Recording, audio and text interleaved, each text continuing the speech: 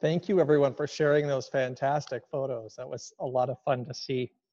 Um, it's wonderful to have you join us uh, this morning for our third Sunday after Pentecost. Um, a reminder that we invite you to uh, be on mute unless you're speaking. Our readers today are Kim Collins and Don Jackson, and the Nash McIsaac family are the responders this morning. Um, Holly uh, is our preacher today, so we're excited to hear her wisdom this morning. We'll begin uh, on page one of the leaflet. The grace of our Lord Jesus Christ, the love of God, and the fellowship of the Holy Spirit be with you all. And also with you.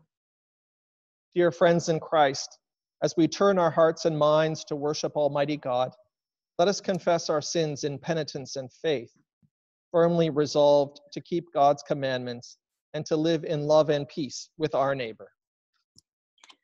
Almighty God, source of all that is, giver of every good gift, you create people in your image and call us to love one another as you love us. We confess that we have failed to honor you in the great diversity of the human family. We have desired to live in freedom while building walls between ourselves and others. We have longed to be known and accepted for who we are while making judgments of others based on the color of skin or the shape of features or the varieties of human experience. We have tried to love our neighbors individually while yet benefiting from systems that hold these same neighbors in oppression. Forgive us, Holy God. Give us eyes to see you as you are revealed in all people Strengthen us for the work of reconciliation rooted in love. Restore us in your image to be beloved community, united in our diversity, even as you are one with Christ and the Spirit, holy and undivided Trinity, now and forever. Amen. Merciful God, grant to your faithful people pardon and peace, that we may be cleansed from all our sins and serve you with a quiet mind through Jesus Christ our Lord, who is alive and reigns with you and the Holy Spirit, one God, now and forever. Amen. The Lord is our light and our life. Oh, come, let us worship.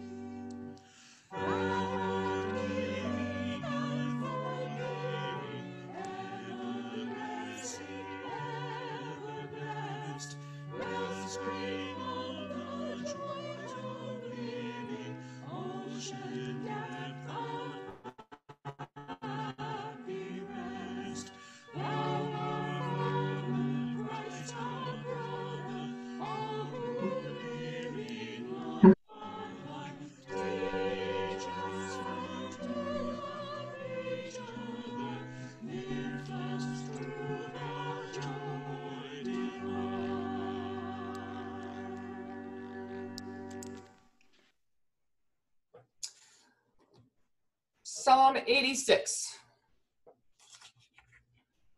Bow down your ear, O Lord, and answer me, for I am poor and in misery.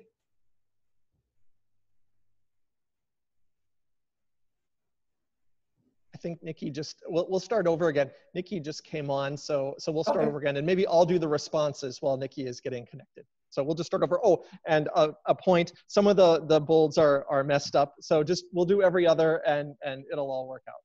Sorry about that. Excellent. Okay, Psalm 86. Bow down your ear, O Lord, and answer me, for I am poor and in misery. Keep watch over my life, for I am faithful.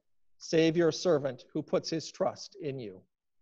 Be merciful to me, O Lord, for you are my God. I call upon you all the day long. Gladden the soul of your servant, for to you, O Lord, I lift up my soul. For you, O Lord, are good and forgiving, and great is your love toward all who call upon you. Give ear, O Lord, to my prayer, and attend to the voice of my supplications. In the time of my trouble, I will call upon you, for you will answer me. Among the gods, there is none like you, O Lord, nor anything like your works. All nations you have made will come and worship you, O Lord, and glorify your name. For you are great, you do wondrous things, and you alone are God. Turn to me and have mercy upon me. Give your strength to your servant and save the child of your handmaid. Show me a sign of your favor, so that those who hate me may see it and be ashamed, because you, O Lord, have helped me and comforted me. Glory to the Father, and to the Son, and to the Holy Spirit, as it was in the beginning, is now, and will be forever. Amen. The first lesson is from the book of Genesis. The boy grew and was weaned, and on the day of his weaning, Abraham gave a great feast. Sarah saw the son whom Hagar the Egyptian had borne to Abraham playing with Isaac. And she said to Abraham, Drive out this slave girl and her son. I will not have this slave's son sharing the inheritance with my son Isaac. Abraham was very upset because of Ishmael, but God said to him, Do not be upset for the boy and your slave girl.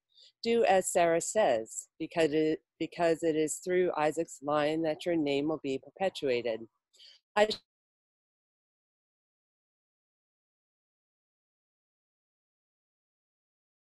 Next morning, Abraham took some food and a full water skin and gave them to Hagar. He set the child on her shoulder and sent her away, and she wandered about in the wilderness of Beersheba. When the water in the skin was finished, she thrust, thrust the child under a bush, then went and sat down some way off, about a bow shot distant.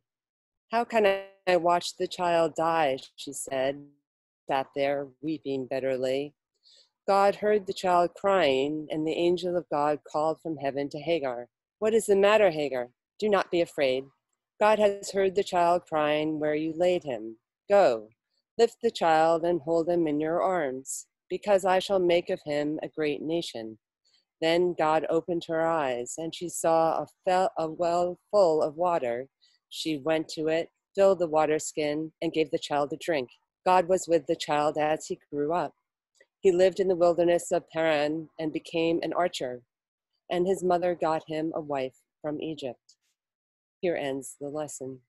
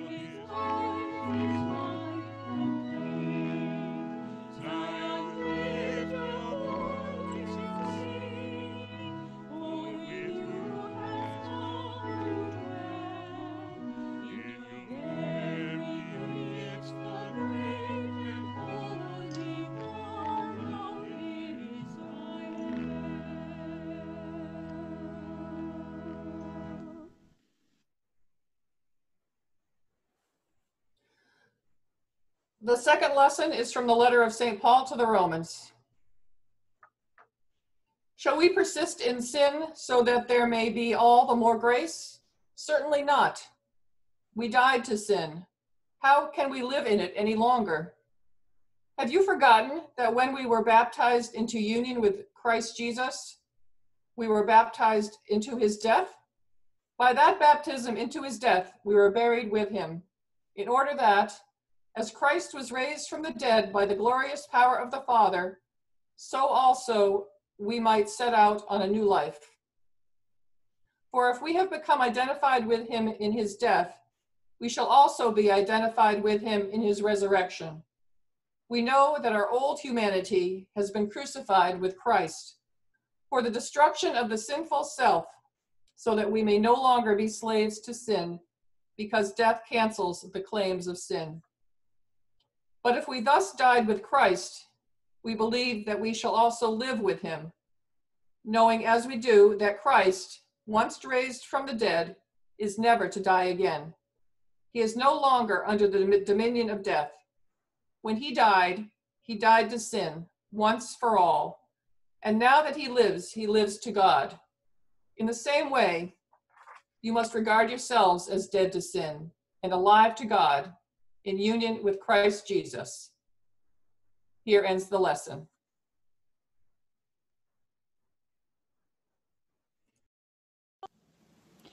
Blessed be the God of Israel who comes to set us free.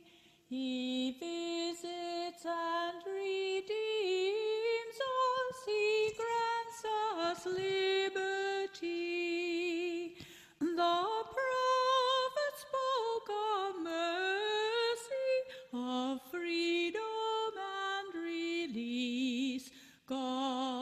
Shall fulfill his promise and bring his people peace. He from the house of David a child of grace has given.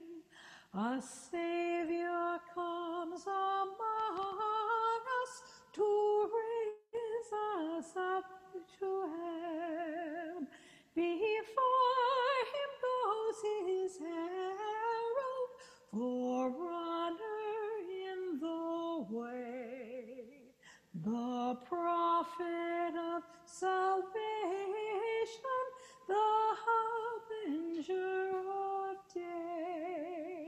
On prisoners of darkness, the sun begins to rise. The dawning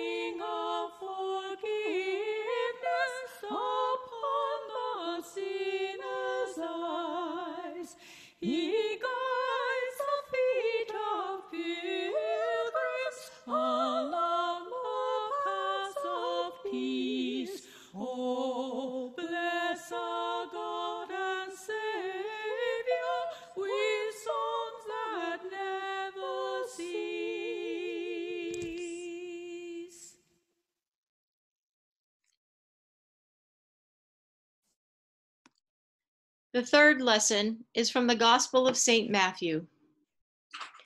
No pupil ranks above his teacher, no servant above his master. The pupil should be content to share his teacher's lot, the servant to share his master's. If the master has been called Beelzebul, how much more his household? So do not be afraid of them. There is nothing covered up that will not be uncovered nothing hidden that will not be made known.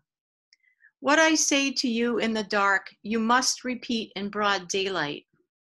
What you hear whispered, you must shout from the housetops. Do not fear those who kill the body, but cannot kill the soul. Fear him rather who is able to destroy both soul and body in hell. Are not two sparrows sold for a penny? Yet without your Father's knowledge, not one of them can fall to the ground. As for you, even the hairs of your head have all been counted. So do not be afraid. You are worth more than any number of sparrows. Whoever will acknowledge me before others, I will acknowledge before my Father in heaven. And whoever disowns me before others, I will disown before my Father in heaven. You must not think that I have come to bring peace to the earth. I have not come to bring peace, but a sword. I have come to set man against father, a daughter against her mother, a daughter in law against her mother in law, and a man will find his enemies under his own roof. No one is worthy of me who cares more for a father or mother than for me.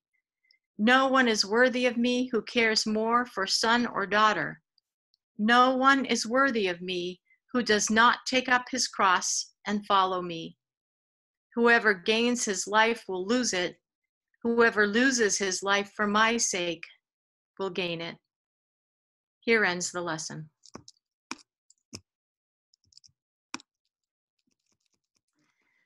In the name of the Father, the Son, and the Holy Spirit. Amen.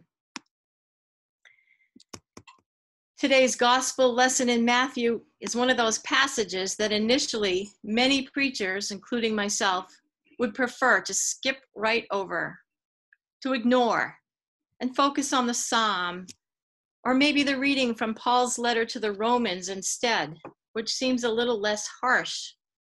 Anything but this passage. But here it is, here we are, and it would be to our disadvantage to pretend it doesn't exist. So then, what is so difficult about this passage?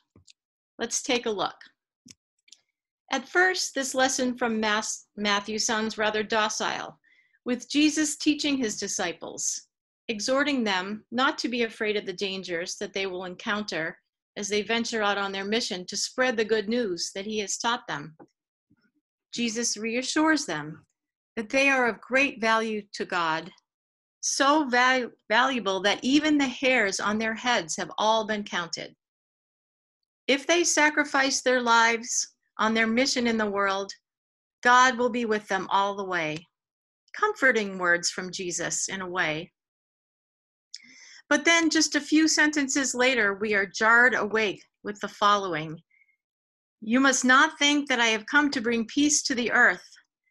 I have not come to bring peace, but a sword. What? A sword? A weapon of war? Does this sound like Jesus? But it gets worse.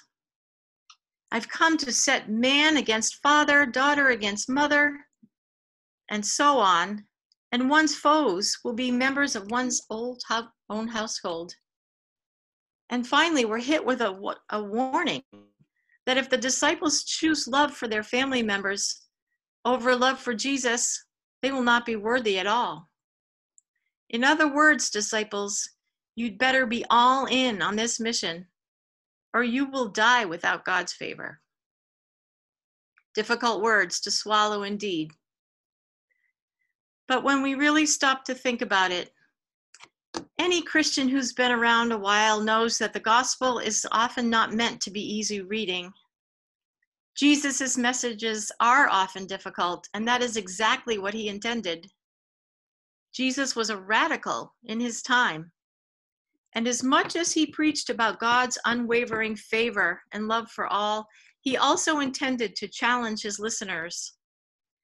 If we are to take our faith seriously and not just in a surface kind of way, we in this day have the responsibility also, as it says in the Book of Common Prayer, to hear, read, mark, learn, and inwardly digest Scripture, particularly the Gospels. As one commentator said about this morning's passage, quote, these texts invite us, or no, they compel us to move beyond soft, saccharine Christianity and wrestle with the hard, high costs of discipleship. End quote. The disciples in the first century were exhorted to face these high costs of discipleship. We too, as present day followers of Jesus, are to do the same. Now, you may or may not know that a disciple is someone who learns from his or her teacher. As Jesus explains early in the passage, a disciple is not to be above the teacher, but rather like the teacher. The word disciple comes from the Latin word disciplus, which means student, learner, or follower. Discipleship is actually a journey. Those who set out on a mission of following Jesus are learning as they go. The teacher can teach, but then the student, the disciple, must undertake this journey and learn for him or herself. A disciple of Jesus, says another commentator, is one who first listens closely to the teachings of Jesus and then decides on the appropriate response. She follows up by saying that this requires an obedience that has its eyes wide open as we accept responsibility for the order of the world and engage in transforming it. Discovering with eyes wide open. The more I thought about and prayed over this gospel and these words, the more I could feel the Holy Spirit speaking. This is exactly the gospel reading we need for today in these times. Be a disciple with your eyes wide open. Bravely face the challenges that have been put in front of us by confronting them head on. Be on a journey of learning, discerning, and taking action as a follower of Jesus.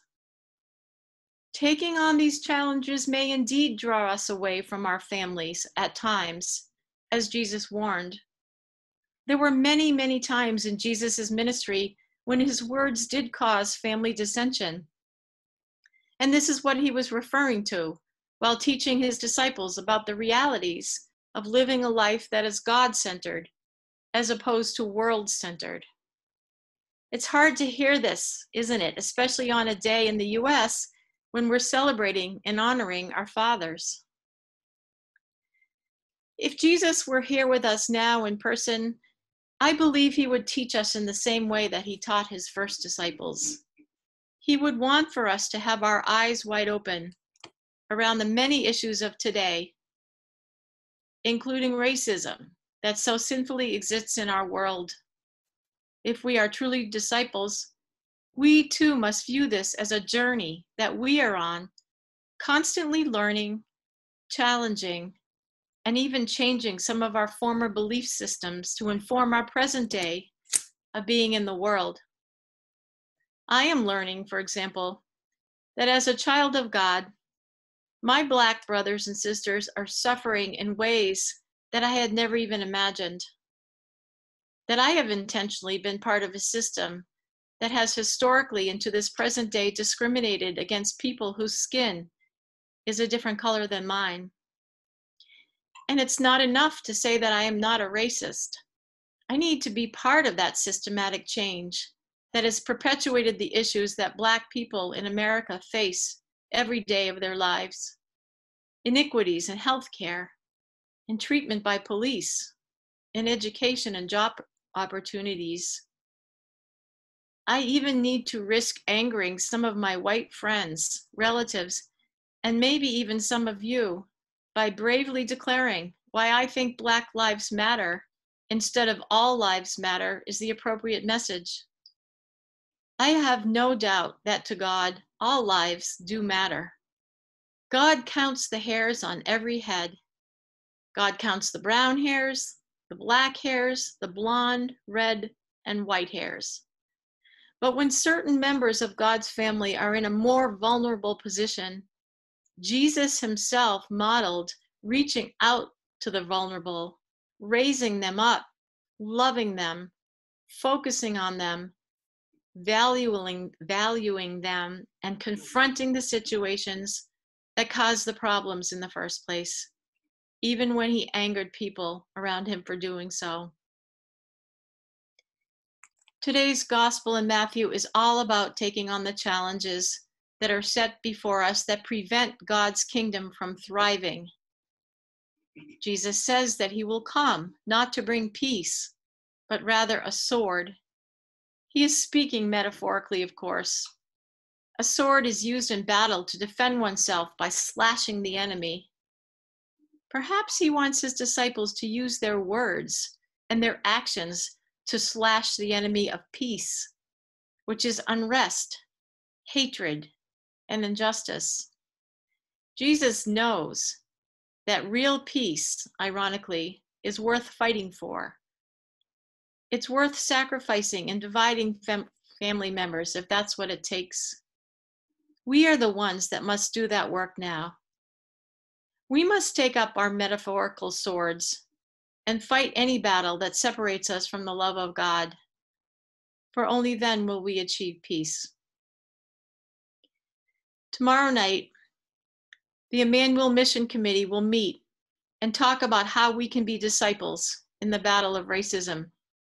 It's a sensitive subject. Chances are we are all in different stages of this journey of learning about the complexities of this issue. Like all disciples, we approach it with different backgrounds, different life experiences, and different ideas about what it all means and how we can respond. We will talk about this and discern this. Please stay tuned for more. We do plan to share our learning and invite anyone who wishes to join this process of study, reflection, and action. Before I conclude, I would like to say a special word to those of you who are fathers or who have or have had fathers. May God bless you and your fathers. Bless you all for the sacred role of fatherhood. It's no easy task to raise a child. It involves so much sacrifice, and yes, a journey in itself of learning how to do this the very best way possible. Fathers are not perfect. Many mistakes are made along the way, but most have the best of intentions. May God continue to bless your journey and bless the souls of the fathers who have passed, as we all honor today. Amen.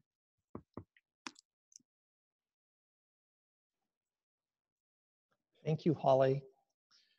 We will continue with the Apostles' Creed. Let us say together.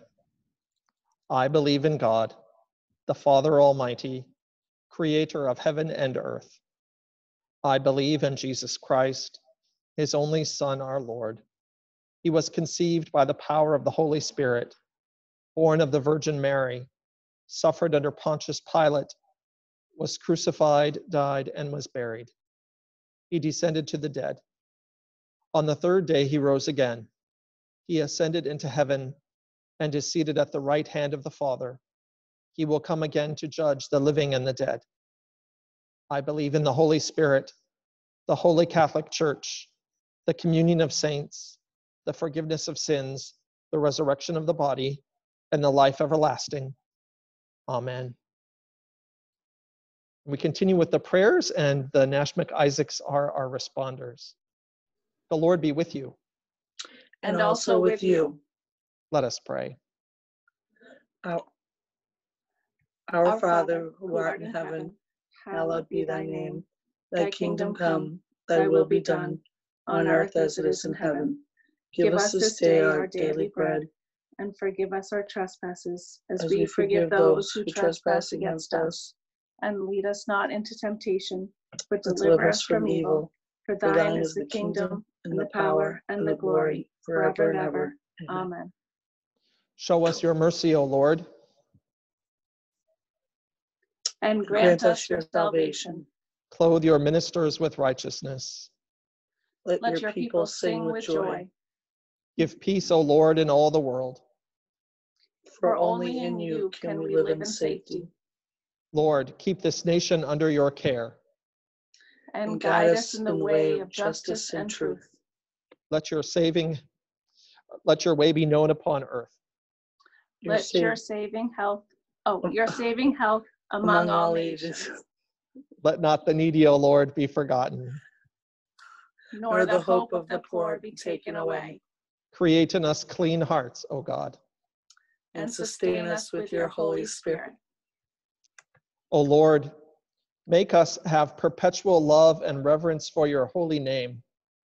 For you never fail to help and govern those whom you have set upon the sure foundation of your loving kindness. Through Jesus Christ our Lord, who lives and reigns with you and the Holy Spirit, one God, forever and ever. Amen. O God, you make us glad with the weekly remembrance of the glorious resurrection of your Son, our Lord.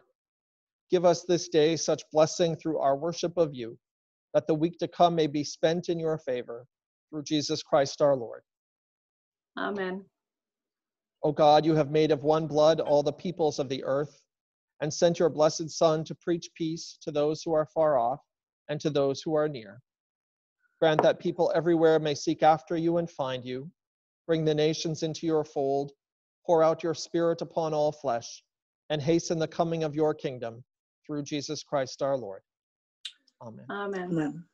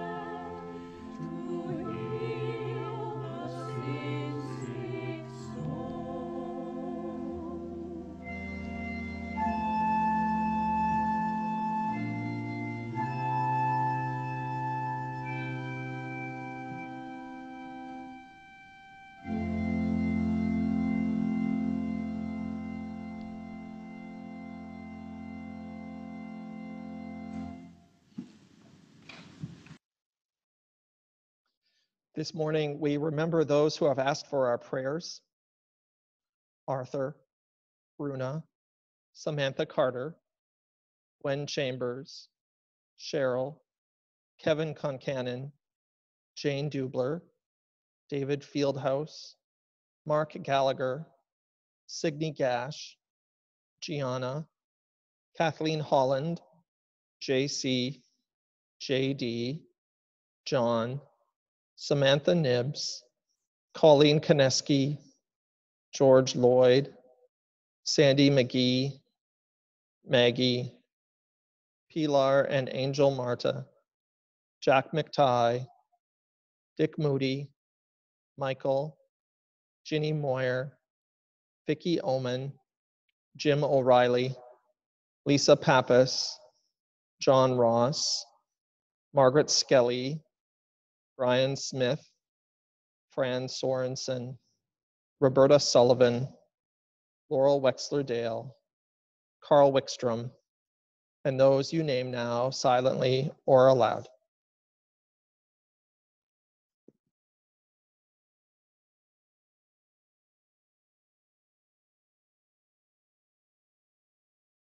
O loving Father, we commend to your gracious keeping all who are near and dear to us. Have mercy upon those who are sick. Comfort all who are in pain, anxiety, or sorrow. Awaken all who are careless about eternal things. Bless those who are young and in health, that they may give the days of their strength unto you. Comfort the aged and infirm, that your peace may rest upon them. Hallow the ties of family, that we may help and not hinder one another in all such good works as you have prepared for us to walk in, through Jesus Christ our Lord. Amen. And on this Father's Day, we offer a special prayer for fathers. Almighty God, giver of life and love, bless all fathers. Grant them wisdom and devotion, that each may be to their families strength in need, a counselor in perplexity, a comfort in sorrow, and a companion in joy. And so unite them to your spirit, that they may offer love and peace all the days of their life. Through Jesus Christ our Lord. Amen.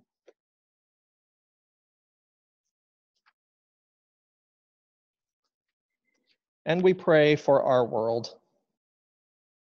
Eternal God, in whose perfect kingdom no sword is drawn but the sword of righteousness, and no strength known but the strength of love.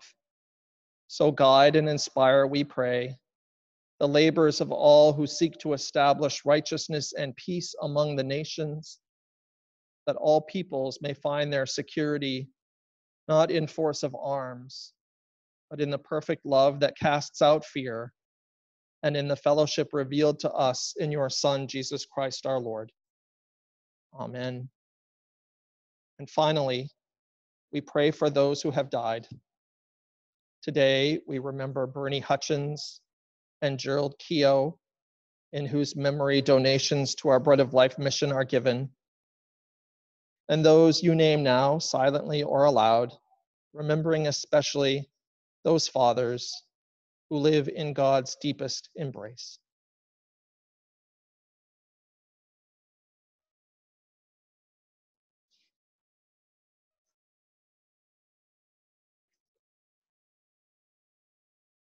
O Lord our God, from whom neither life nor death can separate those who trust in your love, and whose love holds in its embrace your children in this world and in the next.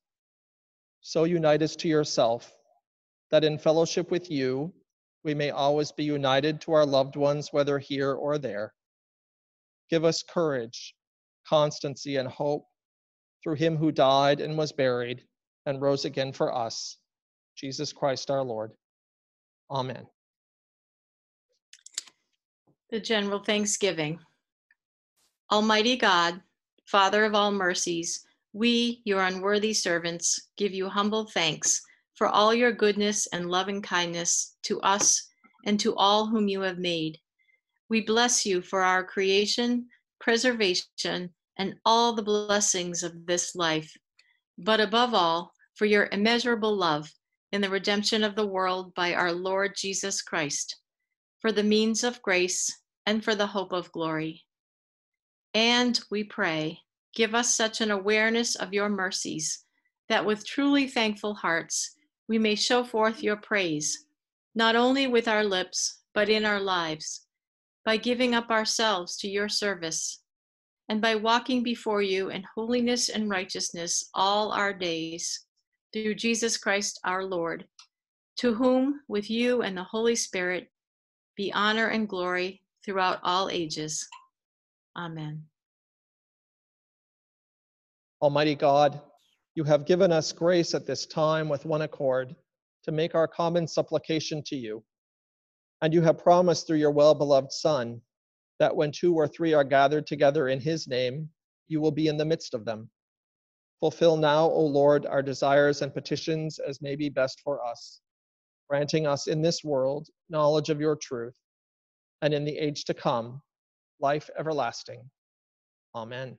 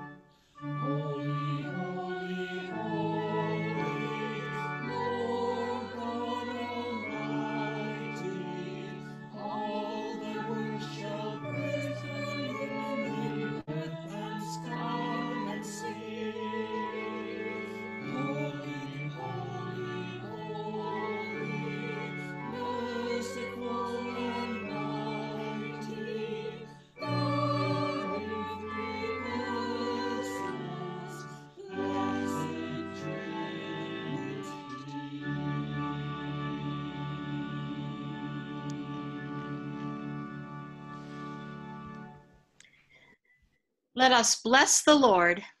Thanks be to God. May the God of hope fill us with all joy and peace in believing through the power of the Holy Spirit. Amen. Amen.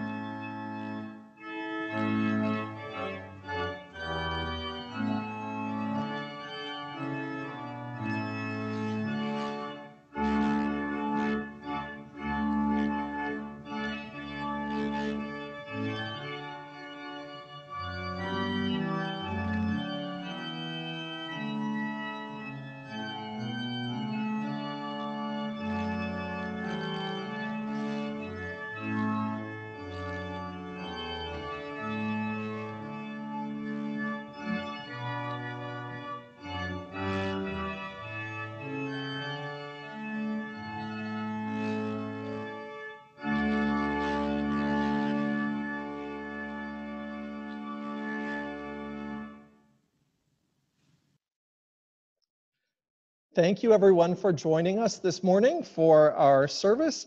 I want to especially thank Holly for uh, preaching. She noted that a lot of preachers would prefer to pass over this passage. That included me, and so uh, and so Holly took it on today, and I'm most appreciative of that. And it is certainly a challenging one.